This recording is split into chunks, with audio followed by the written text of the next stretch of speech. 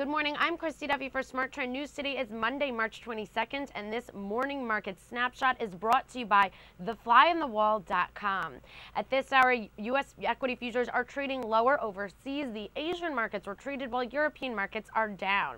Today's analyst upgrades include Waddell and Reed upgrading to outperform from market perform at FBR Capital. Standard Micro upgrading to outperform from market perform at Morgan Keegan.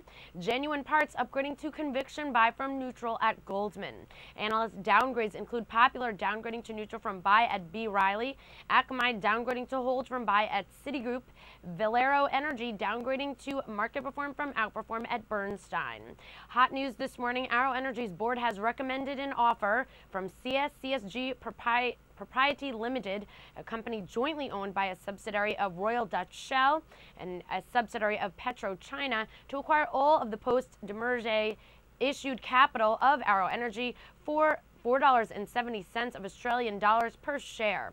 Medtronic announced that the FDA Circulatory System Devices panel of the Medical Devices Advisory Committee has voted unanimously in favor of approval with conditions of the Revo MRI SureScan pacing system designed as MR conditional or safe for use in magnetic resonance imaging MRI systems under specified conditions.